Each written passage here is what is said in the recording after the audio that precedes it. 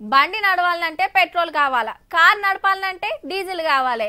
పొయ్యెలగాలంటే gas బండ కావాలి. ఇంట్లో బుగ్గ వెలగాలన్నా ఫ్యాన్ తిరగాలన్నా మోటార్ వేయాలన్నా కరెంటు కావాలి. మరి కరెంటు కావాలంటే ఏం కావాలి? బొగ్గు కావాలి. గన్లకి వెళ్ళి బొగ్గు ఎంత తోడితే కరెంట్ అంత తయారు చేస్తారు. కానీ ఇప్పుడు ఏమైతుందంటే ఇక ఇసనకర్రలు దోమల పరదలు రెడీ పెట్టుకోవాలనేమో. కరెంటు కష్టాలు రాబోతున్నాయి మళ్ళా. పదమూడు రాష్ట్రాల్లో ఆల్రెడీ కోతలు సురువైనాయి కూడా.